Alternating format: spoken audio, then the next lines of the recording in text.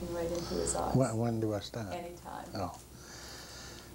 I think basically, uh, I began involved, began to get involved on the prompting of my grandparents, who I remember as being so proud of who they were.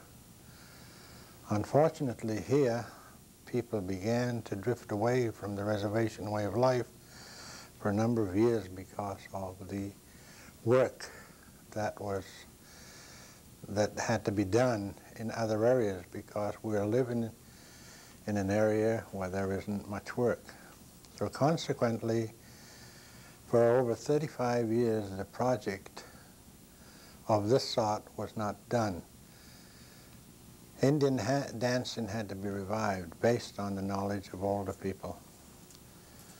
So I came back to the reservation knowing that something had to be done because we had to create a more positive image to the Indian children about themselves. History depicted Indians in a negative sense. They were either lazy, drunkards, or those people who were just plain lazy. And as a matter of fact, the news, the history books depicted them as savage. So I came back and started to revive the dances with a group of very hesitant young girls and boys. They were laughed at because they were dressed in their regalia, therefore they developed a, an inferiority complex. So we had to start out by giving them positive aspects about their history. Consequently today, Ceremonial Day is alive and well and participated by 80 and 90 participants who were gladly dressed in their regalia and proudly dancing, depicting the positive aspects of history. I was involved in that along with Mary Moore, James Neptune, for about 18 years, and I decided then that I should back off and get some new faces in there and sit along the sidelines and see it live, and it has. But I had another thought in mind that we don't have a museum here to be able to portray the positive history and something that is to be preserved. So I stepped in. I asked the tribal council to, I, well, at least I offered my services, and so did Dave, to be able to bring about a museum on our reservation. We've only been at it a little over a year, but I'm surprised at the kind of material, the artifacts, Birch bark canoes that we have been able to, to have here to portray. And as you can see, there are a lot of photographs here, and I believe photographs tell uh, more than words can can tell. I don't know, that, that kind of, in brief, I could be talking all day. I'm so in love with what I'm doing. That's good. You've donated hours. Why is it so important to you? Our project is kin keeping, the generation connection. Why is keeping the generations and keeping this understanding of who you are and where you came from so important? I think it's very important, particularly for us, where, where we've been portrayed so negatively. But I think it's equally important to everyone to be able to have a good positive image about themselves and to be able to uh, project that.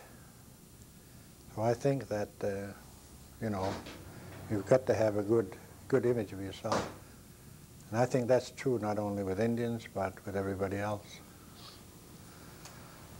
And how does um, how does remembering the past and remembering your parents and your grandparents and traditions, how does that help provide a positive image for a young person? Well, I, my particular case, remembering a positive image, is, is stemmed from my grandparents who, who told me who they were, how proud they were. And I think probably that projects a lot of pride uh, it all depends, I think, on the parents themselves, how they project themselves. and it sort of rubs off on children. What do you remember about your own grandparents? What do you remember most? You know, when I looked at the picture of my grandfather and grandmother, and as I remember history portraying Indians as being lazy, I looked at that photograph and I saw so many baskets in front of her that she had handmade. It is a, a work of art. And it had to be a person who was gifted to make such beautiful baskets. My grandfather was a tanner of sealskins who made sealskin belts, moccasins, and so forth. And they traveled from here in the eastern part of Maine to Massachusetts in the years past, in the 20s. And they would go to the fairs and sell their wares, come back, and that was their existence for the tough winters that we faced here in this area. And at the same time, they were proud of the fact that they were Indian. They were dressed in their regalia. And I think there's a spark of that left with me, and I want to generate that to all. Tell me the story you were telling about the, um, the gentleman up there who was in the battle here at Machias. Well, I guess probably before that we have photographs of the Indian participation in all of the wars, World War One, uh, World War II, Korean, Vietnam conflict. They participated gladly because in World War One and Two, there weren't any Indians drafted. They volunteered willingly and served their country. And in the Revolutionary War, there was an Indian, Passamaquoddy Indian chief by the name of Neptune. He shot the British officer off the bridge of a ship and saved the eastern part of the United States for the United States in the Battle of Machias. And, and therefore, it was uh, with deep pride that we want to point that out. We have about 45 to 50 patriots who died in that Revolutionary War. But what is amazing is that in spite of all their war records, they were not allowed, we were not allowed to vote in the state of Maine until the mid-1950s, and we didn't have the right to vote until about the 60s, even though we were citizens, declared citizens in 1924. And it amazes a lot of, particularly the teachers that come here and take a tour. It astonishes them to, to know that kind of fact, but it is a fact, and that's what we're revealing. Tell me about your own children and your own grandchildren. Um, you said that you feel that they may have started to pick up on your effort. I'm very hopeful that they have, and I think they have. Uh, we want to infuse that at an early age. And I think that holds true for every parent to be able to do that in the home. That's when it becomes very important. I do that, and I believe my grandchildren, uh, you know, have some uh, pride in their heritage. But I encourage parents, particularly the parents, to do that. Um, Dave Francis, who is a my linguist here, a self-taught linguist, he and I have contributed many hours together. We've developed several books in the areas of language. And if language and the other customs are not practiced at home, it certainly won't be the fault of Joe Nicholas or David Francis. So I'm hoping that we will convey the message as it should be. Talking in more general terms about grandparents' relationships with grandchildren, you must see grandparents who are what you'd call successful grandparents and grandparents who are what you would call not as successful grandparents. Thinking of those grandparents who are successful grandparents who have what you'd call a good relationship with their grandchildren, what do you think they do? How, what is it that makes them good grandparents? I think what really makes them good grandparents is creating a good example of themselves, which I try. Uh, definitely there are mistakes, but I think that mistakes can be rectified uh, by using an eraser. You know, the pencil manufacturers put out a pencil with an eraser on it for a purpose. But I think if everybody sits down and say, my grandfather or my grandparents are old, they don't know what they're talking about. But on the other hand, as we grow older, we grow in deeper respect, knowing as we grow older, we, we grow with wisdom and really understand our grandparents to be one of the greatest teachers. But at a certain age, it's unfortunate we don't listen. Looking back on your relationship with your grandparents, what, what type of relationship was that at the time? I think it was very happy. My grandparents never had too much. They worked and scraped for a living. But they were very, very sharing people. They shared what they had. And that was the, the community here as a whole. Everyone respected everyone else. And I think I marvel at a lot of the older people, not only my grandparents. I marvel at all of the elderly people in the years past. We look up to them with deep pride because they were the very unselfish people. They shared and they respected. And these really are the true Indian traits. If there's one thing that you could leave your grandchildren with, and I, I don't mean a material thing, if there's just something you could leave them with, what do you want them to most remember about you as a person? I believe I would like to have them remember me as a person who tried to instill with them just pride in themselves and to have respect for everyone and everything around them and to be able to someday meet people who don't have a smile is to be able to have them give it to them. I think those are the kind of things that we want to leave. We want to be able to leave the message of my grandchildren to become independent, and as I mentioned before, the respect. To be independent, to make the whole world a place of opportunity and a place to make a living. But at the same time, keeping in mind they are who they are and being proud. What do you feel is the most valuable thing that your grandchildren give to you? I think one of the most important things is the fact that they are born when I can really enjoy them.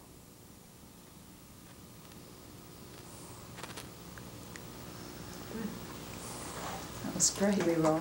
Okay. Uh, my grandparents are, are grandparents that I shall never forget. They're in my memory and hopefully that they will spark in my memory the kind of life that they had, and I hope I'll be able to portray that same kind of uh, attitudes uh, to my own grandchildren.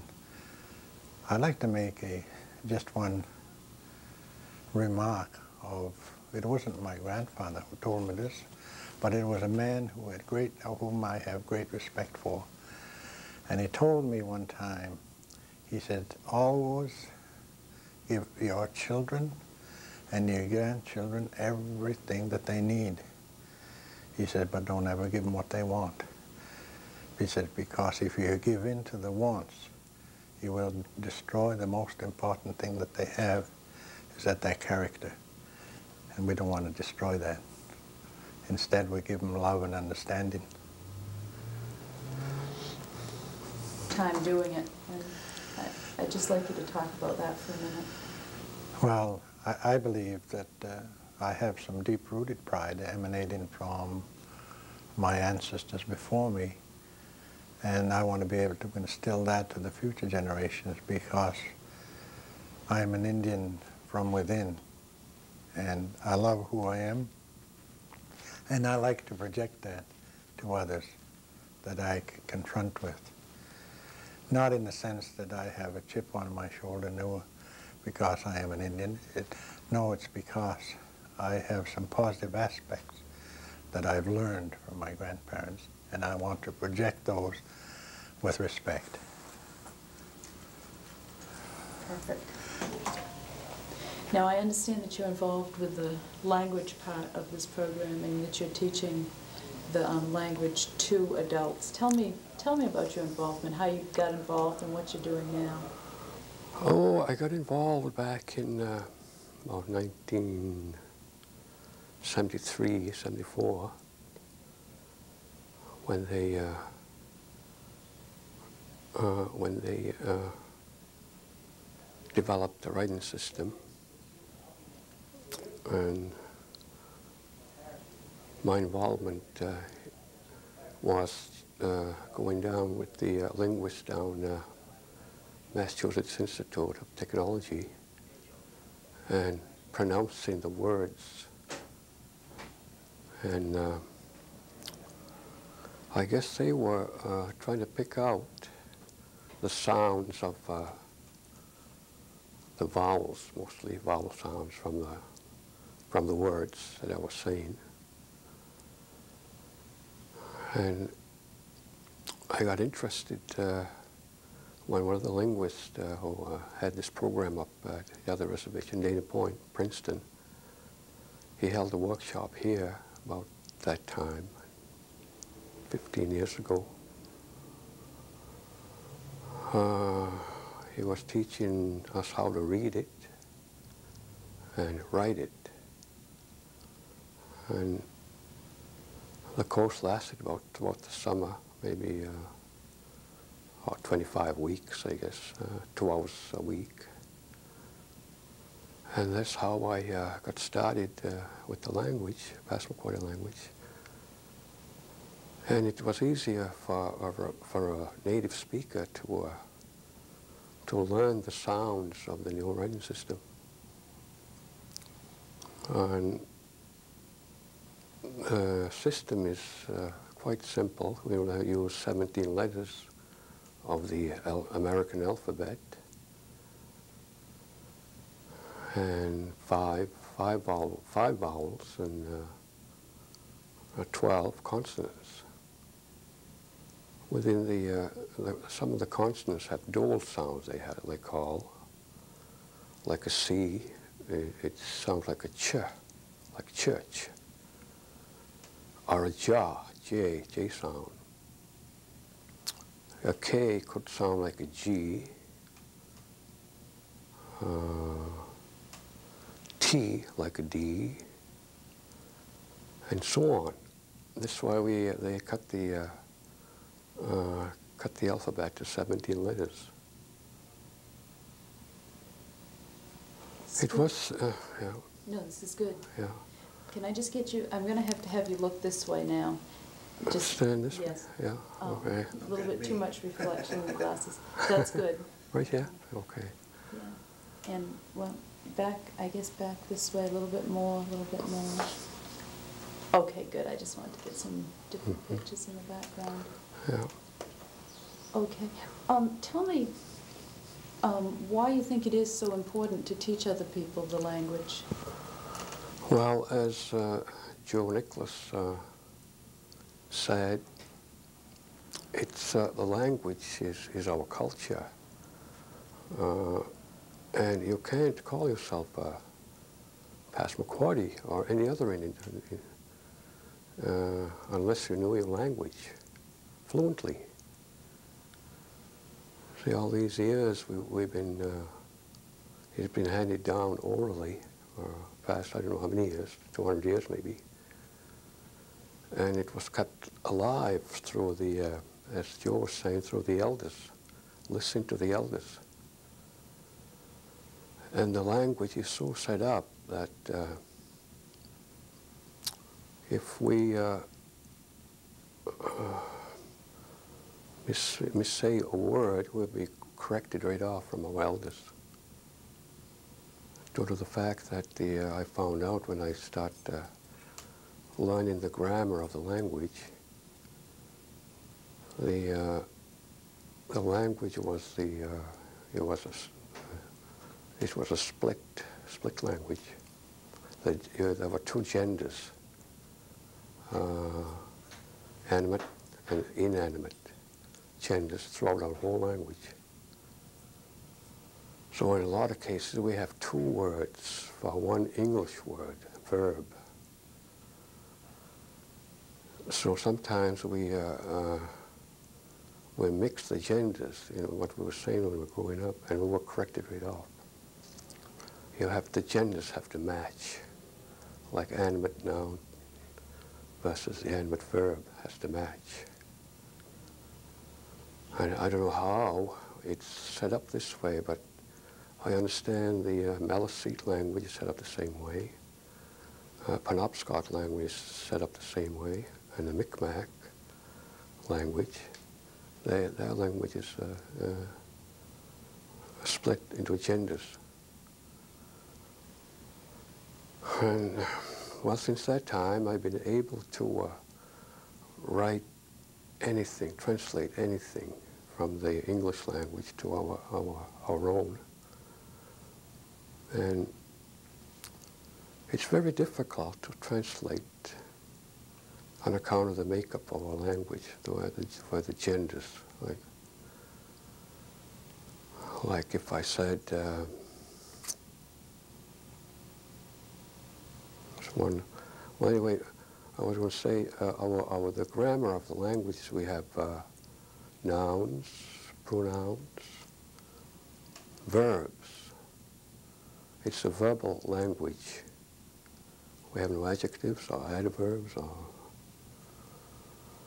all the uh, preverbs are very important. They, uh, they, uh, we have thousands of them. And they are placed in front of the verb that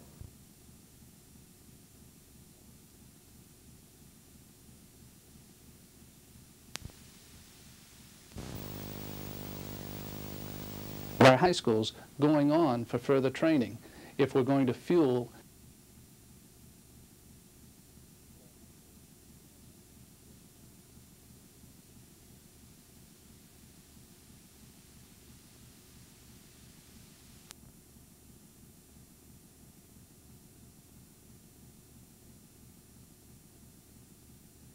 would be the language and knowing themselves how to uh, get along with other people, to, uh, not to be prejudiced, and try to live uh, in both worlds. Uh, Indian world and the white world. Because uh, the white wall is very powerful. It is, I don't know what the word, enveloping us uh, very slowly. It's, it's, it almost eliminated our language. And if you, if uh, my uh, grandchildren or my children could be uh, shown how to live in both worlds. Uh, they would be picking out the cultures, the, the good parts of each culture. The Indian culture and the English culture through uh, uh, mingling with the uh, with the opposite culture, the English, which they're doing right now, and also keeping up their language, which is the, uh, I think, the uh, is uh, language is culture, and it's uh, an identifying factor that uh, we are Indian, American Indian. And the other thing uh, was Joe listening to Joe, is to share Share your uh, anything of belongings, your, uh, not to uh, down anybody, you know, give a helping hand to everybody. And that, that, that used to be a very, uh, uh, I remember it was a culture to us so to share things as I was growing up. Uh, the families, uh, the tribe, the reservation was united all the time. We were all very poor. But when you wanted to, uh, uh, we don't go over to next house to uh, beg for, like if you're lacking sugar or tea, whatever, salt, we exchange for a little teaspoon of sugar for a teaspoon of tea. And that's how we survived. Uh, we uh, helped each other out. Wonderful. Yeah. Thank you very much. I just, I'll just say in conclusion, I'd like to say, Yes. Okay. uh, in conclusion, after hearing Mr. Francis describe the language, I want to be able to say, Apchij Namio, Gidima Jaha, I am leaving, I'll see you again. Because in our Passamaquoddy Indian language, there is no way that we can say goodbye because we know we shall meet again. Waliwan, thank you. Really. And you're gonna stop.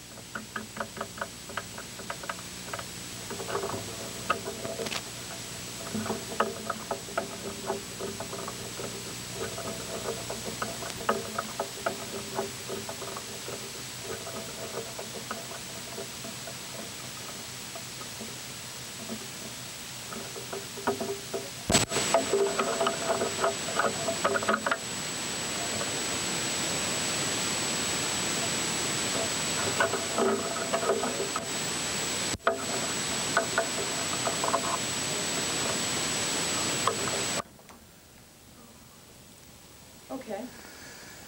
Okay, let me point out, uh, the kids, this is uh, what the reservation that you're living on looked like about 35 years ago. Now you can see the changes now taking place. Here are some of the substandard homes that the, our uh, grandparents lived in at that particular time. A lot of changes have developed since the land's claim. We've got new houses. But I, the reason I took you back here is to be able to uh, tell you even further than that. And when we go back, we point out the Indian chiefs. Remember the governor that we selected in the last election? He played the part of the governor. He was governor at that particular time back in the 20s. His name is uh, William Neptune. And this is his wife, Margaret. Now, Francis Richards, who just died recently, that's Francis Richards' mother and father, or Susie May. And Susie May now is in her 80s, right? Now, uh, moving right along, we tell about the, the soldiers that served in World War One, And uh, they are being greeted here by their grandparents. Um, some of the soldiers are from here, some of them from nearby Eastport. Uh, I didn't serve in World War One, but my grandmother shows up in here, and my brother. A lot of these people myself. And we all have only one uh, soldier from World War One that's still living. He's a Passamaquoddy. He is now a resident of a nursing home in Old Town, Maine. Now, if we go a little further, Okay, what I need you to do is to keep talking about that again. this one? I'm still looking for another angle on that. Yeah. Okay. Now, as we as we talked before, the uh, the Indians that served in World War One, they volunteered for their service duty, as did other soldiers in World War II, Korea, Vietnam. But did you know that the Indians were not allowed to vote in this state until in the mid-1950s?